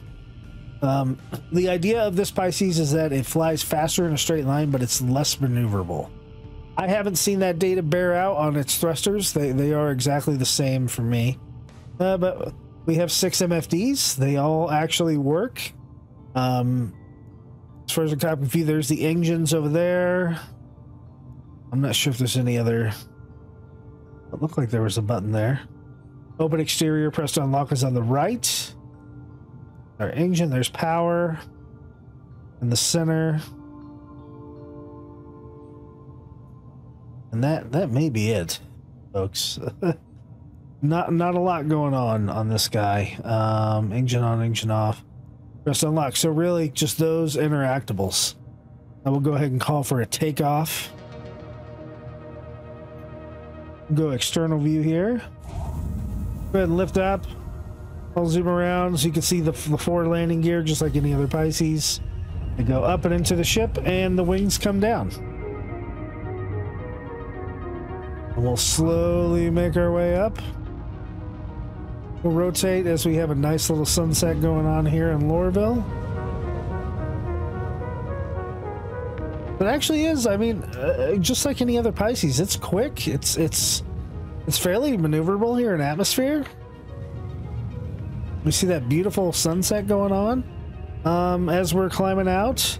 We can't see a lot of detail because we don't have a lot of sun on the ship. But let's fix that. Let's go ahead and climb out. We'll see how long it takes. That was really actually quick for the ship to change direction. We'll bump up the throttles, give it some boost. See how long it takes us to get to about 12,000 meters. The boost is taking its time, which is good. That's a lot of boost for a little ship. I could easily see that being nerfed in the future. And we're hey, we're we're in quantum range now for a lot of different stuff. Let's uh, let's go ahead and make our destination Everus Harbor.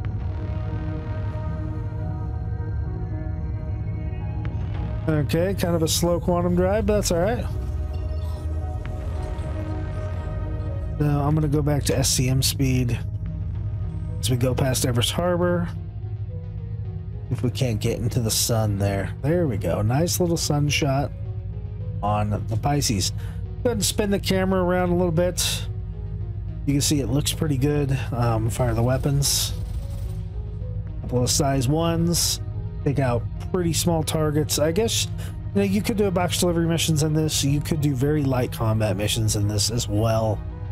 Um, but mostly it is a purpose-built craft for uh, medical treatment. And there we go. I, I'm not sure what else there is to say about the medical Pisces. It's a cool variant. I'm glad it's here. Um, you know, it makes sense. I wish they would upgrade the Cutty Reds med, med bed to a tier two and make this our tier one option because it is kind of a starter ship. I believe it's also under a starter package, and uh, it's a neat ship. Um, and there we go. So that adds in the addendum um, to this Carrack video. Uh, there'll probably be a couple other addendums due to the Carrack winning Best in Show and, and the new paint it gets and things like that. But the Pisces C8R rescue, and hopefully the doors are fixed for the other Pisces in patch 318. See you in the next section. All right, everybody. So we're back here, and this time it's to look at the RSI Ursa rover one of the really neat off-road vehicles uh, in Star Citizen. Um, I believe it does come default with the Carrack as the exploration ground vehicle, and you're going to see why as we kind of get into it a little bit. I pulled it out here at Daymar, and we're gonna we're gonna go around and kind of take a look at it. First thing you can see from the outside, there's a ton of glass, right? Uh, you can see clearly into the cockpit with both both the driver and the co-pilot, right? And you can see the area in the back. Uh, very, very clearly, it says Ursa all over it, and uh, you know Ursa is Latin for bear. Also, on the bottom here, it looks like there's some kind of a winch or a tow cable or something like that. Maybe we'll be able to use that one day. That would be super cool. Plus, a big bumper pad um, made to hit obstacles, I guess. The Ursa Rover is a six-wheel vehicle, three on each side, one in the front, two in the back. Um, there are a couple entrances here. One is is here on the port side of the vehicle, and you can also enter and exit from the rear of the vehicle. Um, other than that, standard vehicle stuff, brake lights, and and things like that. And then there are two guns on the very top of the Ursa Rover that are maybe important to have in some situations. Um, and they also stow right here um, when you stow the guns, which sometimes you have to to make clearance for things. It also looks like there's uh, like little uh, eyelets up on the top so that you could possibly hoist the Ursa rover at some point. So let's go ahead and get in it and we'll see what it looks like. We're going to come around the back here first. You can see it opens up with kind of a ramp here. And we'll go ahead and close that up. That's one of my favorite parts about it. Um, you can see that it holds six people in total. There are uh, four kind of away seats, which looks like one day they'll they'll kind of fold fold back. I believe there that does take SCU as well. Uh, you can put some cargo into the Ursa rover, which is I don't know. Do you do you think that's important? I'm I'm interested to know.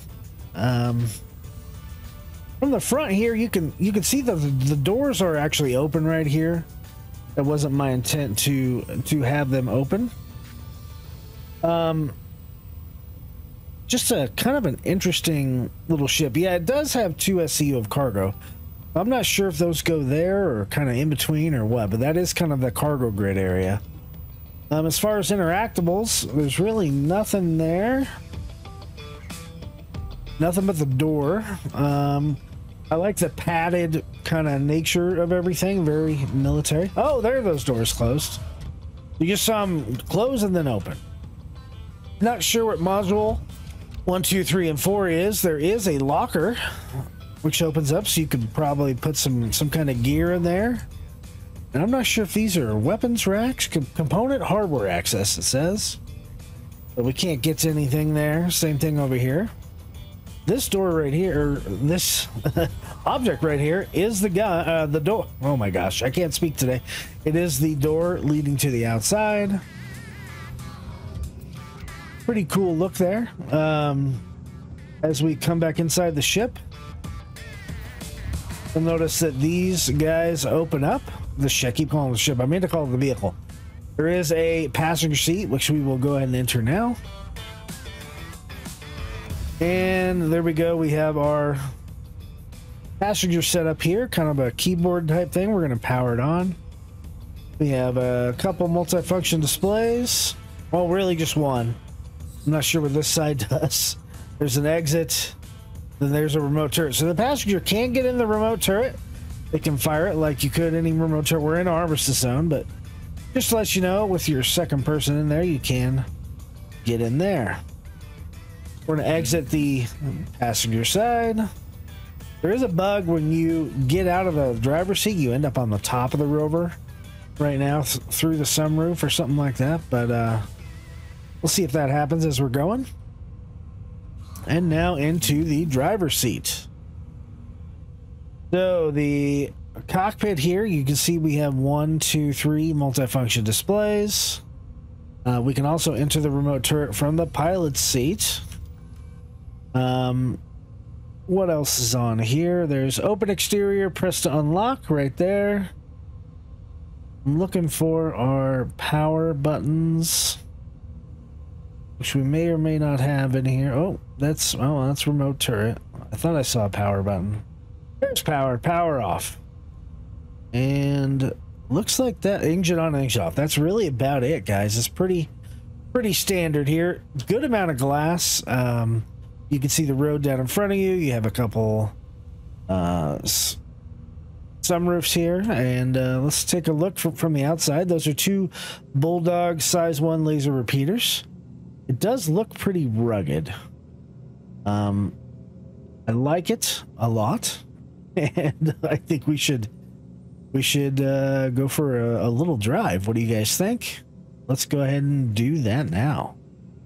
All right, so we're here in first person. It is actually not a super fast vehicle, but it is very rugged. So here we go. We're we're crawling around the. We're gonna crawl around the mountains of Daymar here. Here we go up this mountain. And a little bit of air there. Whoa! oh. We flipped around a little bit there. And there we go. We'll come back down. Whoa, a little more air there. I'm liking it. oh, jeez, that was pretty crazy. Okay, uh, let's let's adjust the camera there a little bit. Okay, I actually like to drive in third person, so let's go ahead and crawl up one of these rocks here. It it is going pretty darn quick. Oh, and it already flipped, but right back on its its normal side there. Look at the air. Look at the air that it's getting. Holy jeez. And boom. Oh, oh, there goes on its back. Will it recover? Yes, it will. I do like this. Yeah, she added in that they're able to recover. Um, and flip around and stuff like that. I wish I wish vehicles had navigation systems though. You know, it's very hard to uh, navigate and go from one place to another if you don't really know where you're going. It seems like it's a little bit front heavy. Because we do tend to roll over on the front quite a bit. But yeah, just like that jump right there. But it is going really, really well. Let's, uh, whoa. So that was air. And then an immediate stop.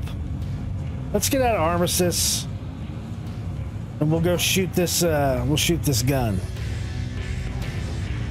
okay we're we're still pretty close to the station but pretty far away okay backing up whoa jeez oh looks there's use use exit here What does use do? Nothing. Nothing. Very interesting. Um, as far as the remote turret goes, let's go ahead and enter that. And here we go. We can shoot the the bulldog laser repeater.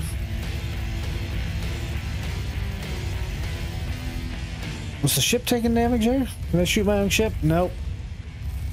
Okay.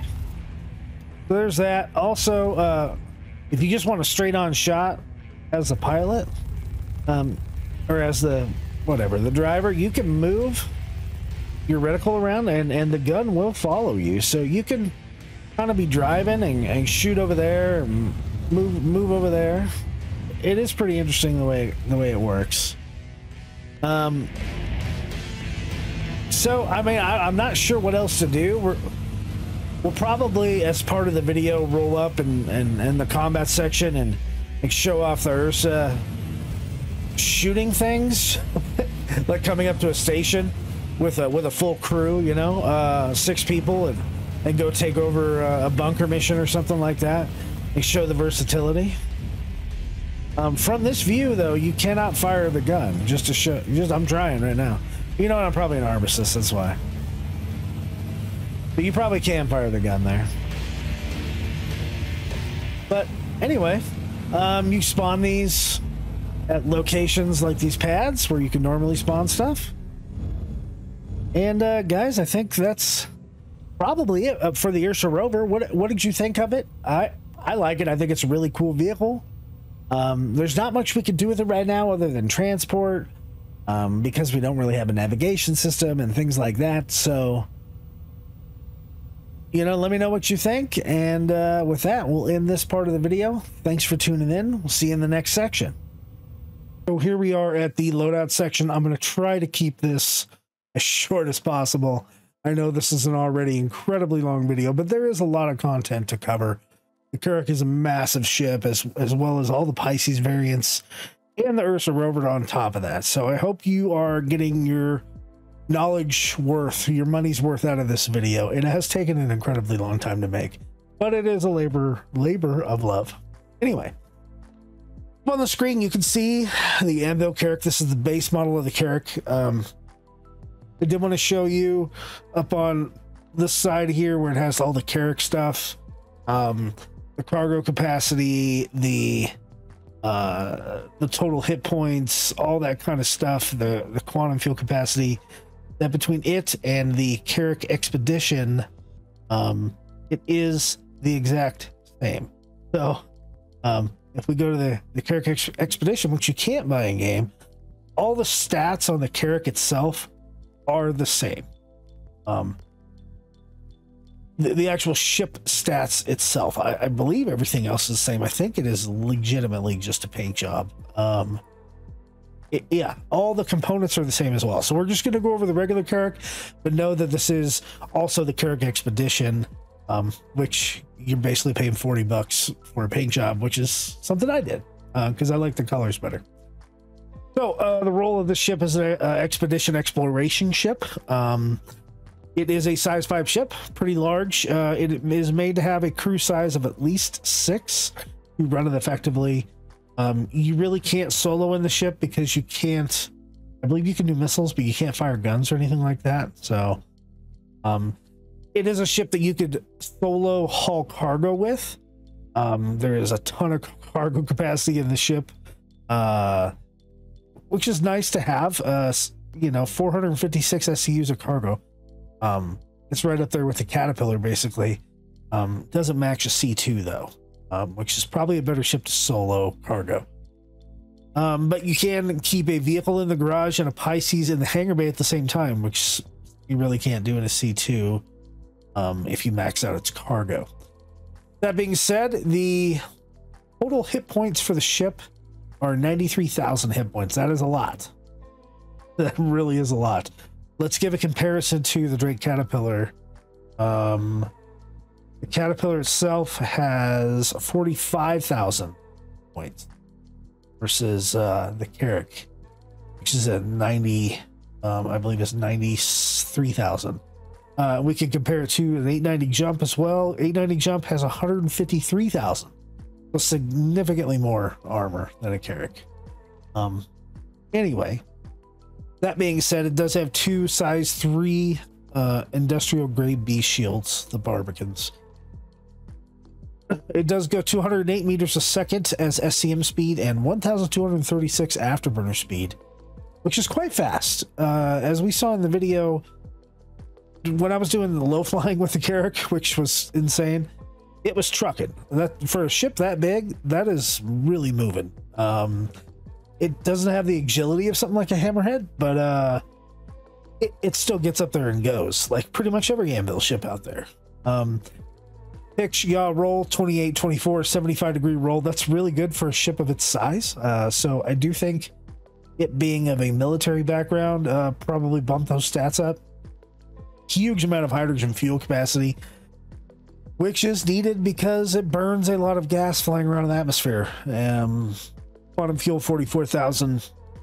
It can go anywhere in Stanton uh, on a single jump with the stock quantum drive, which we'll get to in just a sec.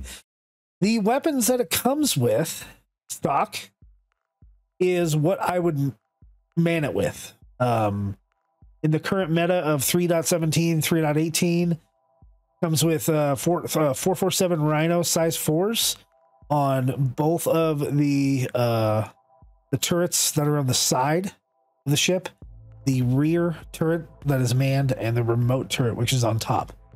That's that's the only weapon I would put up there um, because of how unbalanced weapons are right now. Back in the day, I used to run uh, half laser, half ballistic, but that is not something you could do now because the guns are limited still for a year and a half now, limited by the gun and not by the size of the ship. But things we can slash should change. Oh, by the way, uh, I mistakenly said just a second ago that you can fire missiles. There, there are no missiles on the character. There are guns. Um, there are two industrial grade B Barbican shields that supply 110,000 hit points each. If you're gonna take this thing into a fight, don't. I, I don't suggest putting industrial grade Bs on there. However, there are some some interesting stats that I just learned. Um, when you look at an industrial shield, uh, physical absorption uh, is says 5095. Now that is what I take to be how much ballistic it can take, right? Let's let's pull up a military drive like the FR86. The FR86 or military shield, sorry. Um, it also has that same stat of 5095. Um, so I was told the industrials actually handle ballistics better than other. Maybe it's against civilians. Let's let's pull up a civilian Nargun. Nope, all the stats look like they're the same. So never mind. I'm dumb. Um I can tell you the FR86, as far as distortion damage goes, uh, it takes a lot more to shut those shields down than the civilian drives, uh, civilian shields. We can see the civilian uh, distortion shutdown time 2269 um, versus 4539 for the military. And the industrial drive, like uh, the shield, the biggest shield for industrial, the parapet, which is what I used to run back in the day. Um, even less 1444 so my suggestion if you can afford it is to just upgrade to military fr86s for both. Call it a day. As far as the power plant goes even with upgrading those shields there's there's no reason to upgrade this power plant. It is an industrial grade b. Um the best option would obviously be to go to a military type of power plant but I'm not sure we're seeing any huge gains on that uh, other than distortion shutdown damage looks like is better so well maybe it's worse 9 7350 on the reliance and yeah 5950 on the military so the opposite on power plants uh the industrial power power plant can take more distortion damage than the um in the military. So leave that power plant in place. That's fine. Leave it alone. As far as the coolers go, uh, comes with a couple ice flushes at 16,800 cooling uh, a second. If you look at the chart over here, it's not even touching. It it has a capacity of 33,000. We're using 1,500. There's no reason to mess with them, leave them alone. The one thing I would recommend changing is the quantum drive. The Kama, the industrial grade C, that is stock with both the Carrack and the Carrack Expedition, um, to go from Microtech to ArcCorp, which is one of the longest distances in the game, takes 17 minutes. That's a really long time. So, my suggestion is to go ahead and grab the TS2. Uh, as we can see with all the military drives, the lowest drive, the Pontes, goes for 117k. The Balandin, which is the second fastest drive, goes for 142. The TS2, 93,000. It's the cheapest and fastest drive, and you're going to be fine on Quantum. Now your time from Microtech to ArcCorp is five and a half minutes versus 17. That's a huge change. If you're going to change anything on this thing, for the love of God, change the quantum drive. It is just imperative that you change the quantum drive. Um, we already went over paints on the other sections, but there is a lot of different paints on here. The 2950 Best in Show, Copernicus, Expedition, Stormbringer, Polar, Red Alert, which is the 2952 Best in Show livery, and then it has the Kepler and the De Blasio. Um, I don't remember those other liveries. I'm gonna have to look those up. As far as thrusters go, um, all together 3.66 G's going forward. Thrust capacity 157.8. Don't know if this is that meganewtons, something like that. It's a lot. This this thing has some decently powerful thrusters to get you going. Uh, the retro thrusters are also pretty powerful. They're half a basically half a G uh, each. Main thrusters being 1.14. So something to think about with the Anvil Carrack. Um, yeah, Double was actually just trying to call. So now we're going to move on to the Anvil Pisces. All right, so now let's talk about the Anvil Pisces. Um, as we look over here in Anvil, we can see that there are three different variants the C8, the C8 Rescue, and the C8 Expedition. Let's first just talk about the regular Pisces. Um, but we'll compare the, the base stats here against each other. Uh, cargo 4 SCU, it's a size 1 ship. It says crew size of 3. Yes, you can fit three people. There are three seats in there one pilot and two jump seats. It is kind of an away ship, if you will, a Pathfinder exploration type ship to aid the Carrack. Um, it has a total of 3,250 uh, hit points, armor hit points. Um, it is 142 meters a second. Uh, SCM speed, afterburner, a total, you know, top speed 1150. Slower than the Carrack, believe it or not. Uh, it's actually a really maneuverable ship. Uh, picks out roll 42 degrees, 44 degrees, and 145 of the roll. It is quite maneuverable, even in atmosphere. It does have a low quantum fuel capacity, uh, 522,000 liters of hydrogen and 645 liters of quantum fuel. It, uh, depending on the drive, it can get you around the verse. But if you go with the fag, just like just like most size one ships, except for the Drake Cutter and the Banu uh, Defender, it can't take a real fast drive without you having to refuel somewhere. So, noting these stats here, let's let's pull up the other ones. Um, the same hit points are on the rescue. Uh, the same maneuvering, the same quantum, and the expedition. Those all look the same as well. Yeah, so they all look the same. The base stats for all three ships are really the same as far as like hit points and things go. The the weapons. Okay. So if, if you don't know about size one weapons, um, traditionally when you have a size one hard point, uh, you can you can put a size one weapon on it. If you if you do want to gimbal something, uh, on a size one, you can put a size one gimbal on it. It'll fit a size one weapon. Typically, when you gimbal, the sizes go down. So that means if you have a size two hard point, uh, well, if you put a size two gimbal on it, you can put size one weapons on it on that gimbals. On a size 3 hardpoint, you put a size 3 gimbal, you have to have size 2 weapons. On a size 1, you can actually have size 1 weapons. So this thing comes with 117 Bulldog, laser repeaters. Those are the perfect weapons for this type of ship. Um, I recommend you keep them on there and keep it gimbaled. It does come with two uh, stock Marksman 1 infrared missiles, which are pretty good missiles. I would probably go for something like a Pioneer um, or uh, the Spark 1 because I like cross section. But there's no reason to do that at all. Um, whatever suits you for the missiles. The shields, different story now. the shields that it comes with are stealth grade C. Now, maybe that's going to reduce the signature being a stealth component, although nothing else here is stealth. Uh, they are very fast to charge up. I will give them that.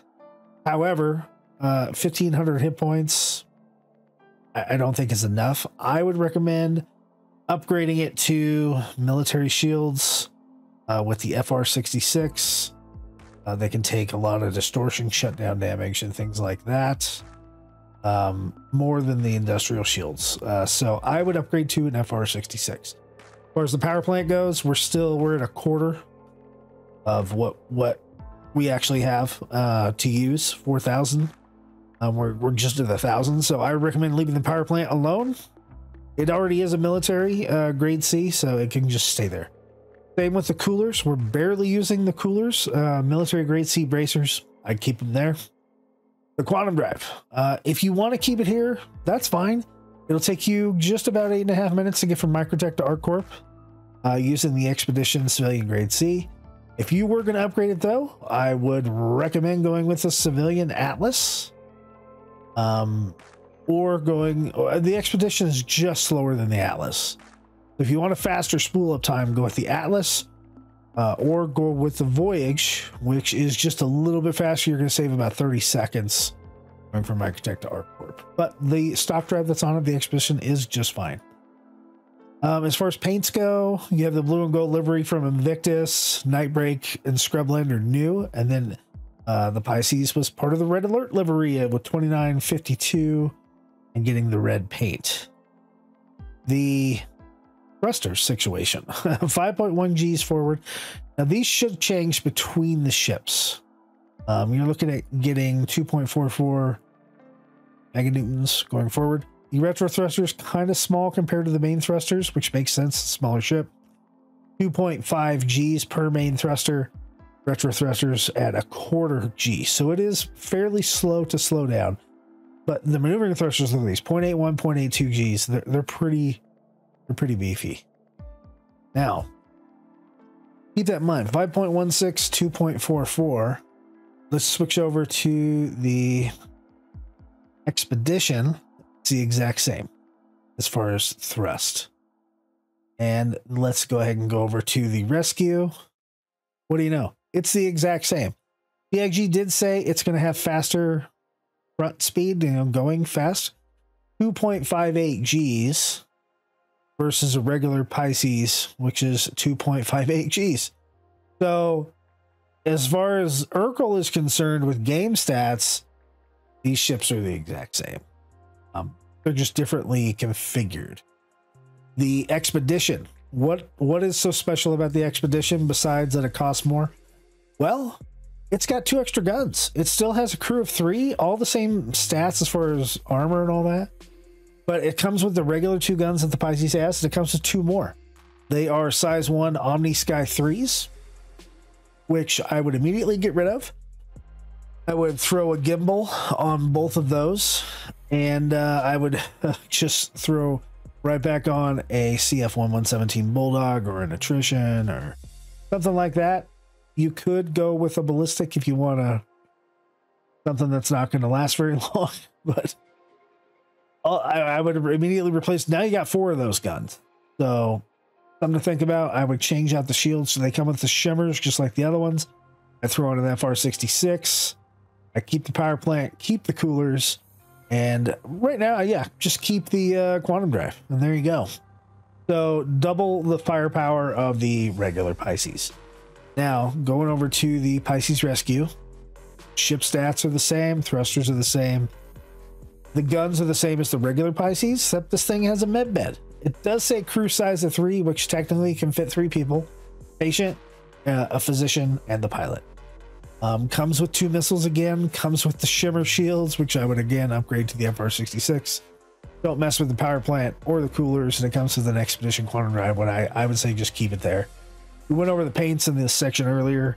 Um, the, see, even Erkul doesn't have the updated paints. Uh, they just have the Pisces paints because this has the Code Blue and all the other uh, type of paints that come with the Rescue. So, Erkul, make sure you fix that.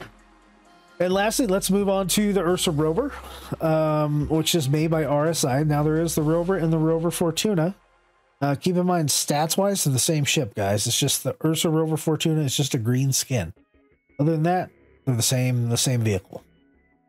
Ursa Rover is a ground vehicle. Um, it's a size three ground vehicle with crew size of two. Um, it can fit more in the back, as as we saw that the, there were seats back there for people to get out, so it can carry people if you lift up those seats, those then become cargo grids, so then you could carry cargo. It does carry up to two SCU of cargo.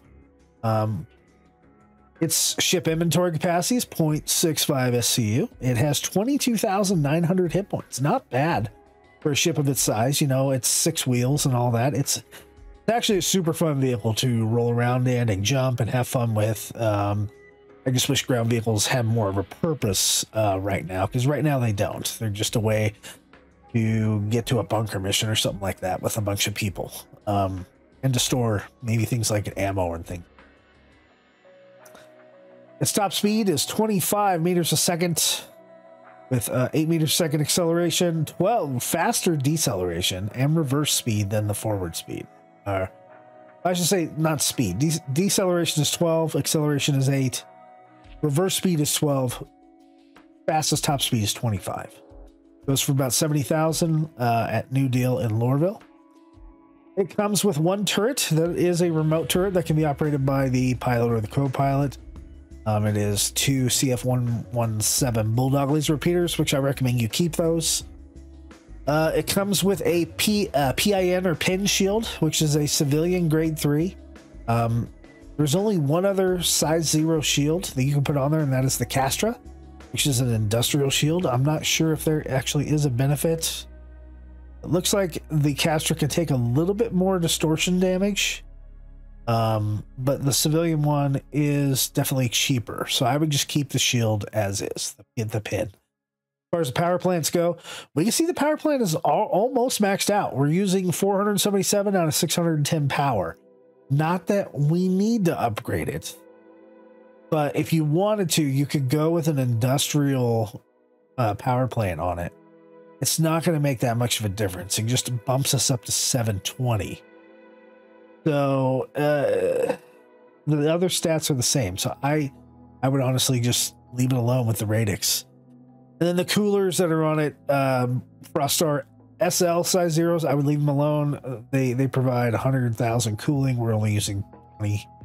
I'm sorry, 100k cooling. We're using 24k of the cooling, so I would leave that alone. Um, it doesn't have any other paints. If you want a different paint, you have to get the Ursa Rover Fortuna. So that is it for the loadout. Sorry it took so long, and we're we're we are covering six different vehicles. Um, and that's really about it, guys. I think it's time to move into final thoughts. Thanks for watching so far. We're wrapping it up. Well, hey everybody, I'm here sitting down at Everus Harbor enjoying a tasty filet verde burrito with uh, one of the guys that's sitting here that I just kind of sat down with. Anyway, let's talk about final thoughts for the Anvil Carrack. And, you know, I have my own thoughts. I really want to hear your thoughts, to be honest with you. What do you think about the ship? I think it's probably the best Star Citizen ship in the game. I, I, didn't really want to spend a lot of money on Star Citizen when I first started playing it. I was like, eh, I got a, I got a prospector and a freelancer, and uh, I think it's good. I'm good. And then I saw Invictus, and I was like, whoa, what is the Anvil Carrack? Because I didn't know much about the game at the time. And I fell in love and I made my first big purchase. And I believe I, with it before the end of Invictus, I was certainly concierge. The Anvil Carrack is a very expensive ship. Um, I think right now it's probably top two, top three multiplayer ships in the game. It has a lot going for it. Med bay, garage, cargo capacity, multi-crew, multi-bridge, has turrets. It has the hangar with the Pisces. It's it's so much of a complete starship that really that's why I think it's the best ship in the game, at least right now. I'm sure there could be other ships that are going to be better, and there are certainly. I'm more of a fighter pilot type of guy. I like shooting things down. But when I get together with friends and I talk about role playing, uh, uh, this is definitely the ship to be doing that. So I love the Carrack. It's my baby. I upgraded the stock Carrack to an expedition because I asked CIG and they did it.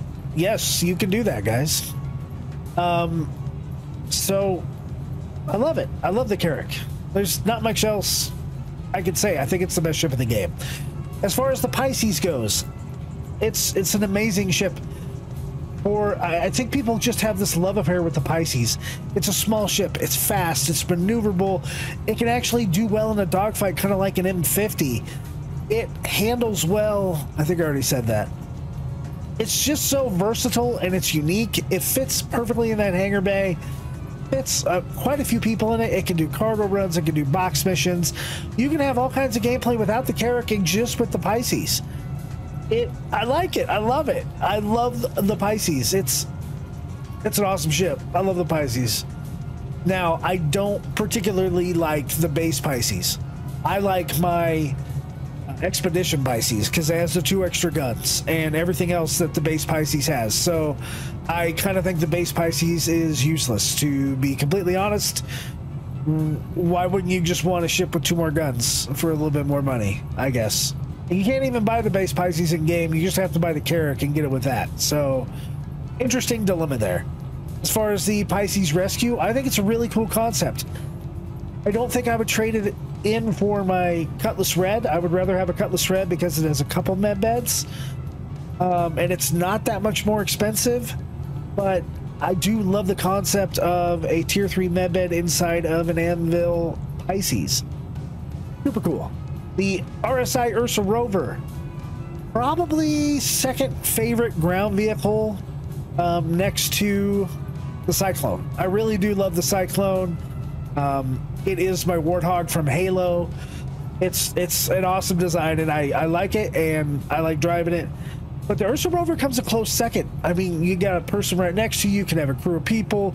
It has a purpose and it's really really good for exploration and it has weapons on it i mean it's also a complete ground vehicle the same way the pisces and the carracks are kind of complete ships even though they don't have all their features but they do have their features and we can actually do exploring in the game yeah gee let's get exploration in the game then the ships are going to be three best three best variants of something to do in the game i really can't wait for that day but I want to hear from you. What do you think of the Carrack? Do you prefer the MISC Odyssey? Do you think the MISC Odyssey is going to be an actual Carrack killer? I don't think it will. I think it's going to be a cool ship. I bought one, but I traded it in for a Polaris. I was mad because it can only refine Quantanium, and I think that's dumb. I think we should be able to refine all things at a refinery, and only the Quantanium should go into the actual fuel of the ship. Um, I think it's going to be better than the RSI Galaxy, um, but I did pick one of those up at IAE. Um, that may get upgraded. Who knows? The Pisces, man, great ship. What do you guys think of the Pisces? Do you like the new medical variant? Have you had some time playing with it? It's a pretty darn neat ship. And uh, the Ursa Rover, what do you think of it compared to other ships like the Steve, the uh, like even a, a, a hover vehicle like the like the uh, hover quad or the Dragonfly? Nox. What's your favorite ground vehicle? We're going to start doing videos on ground vehicles as well. Uh, this was my first review of a ground vehicle as far as an in-depth review. There's not a lot of lore on things like the Steve and stuff, so we'll have to get to those a little bit later in the pipeline. But thank you guys for watching. Um, if you're a fan of the show, our ship videos in general, Java with Jawa, our Thursday night stream, which has been rebranded as the B Team. We got a new intro coming up. Um, you can watch all those replays on on YouTube. Let, let us know if, if you know what you think uh, of the show and you know subscribe to the channel if i earned your like on this video. I would really appreciate it. Subscribers go a long way. We've done oh gosh like 10 giveaways this year at least 10 giveaways. Sometimes it's just minor stuff like hey it's the subscriber uniform or it's something else. But we recently gave away a drake corsair. That's $250 ship. Uh, we're about to give away uh, another ship when we hit 2,500 subscribers. Uh, we've done all kinds of stuff this year. We don't typically announce our giveaways. You need to watch the stream and uh, be a part of our Discord. Link is in the description below. And join us on stream. Have fun with us, play with us, hang out with us. We love meeting new people. We have an awesome group of people in both Java with Jawa and the B team, and just other people who just like to hang out and play Star Citizen. So that I think that would be really really cool if uh, we got to know you and your opinions. Most of the people that watch our videos, like 90%, are not subscribed. So I would appreciate it. I know this was a long one, two hours long, a lot of information to go over. And I thank you for watching this. Thank you to all the BT members that helped film all this.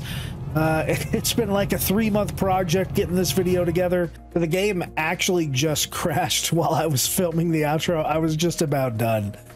So sorry about that, but now you get to see the real fist and you get to see me every night on Thursday if you want to come hang out with us uh, on the B team.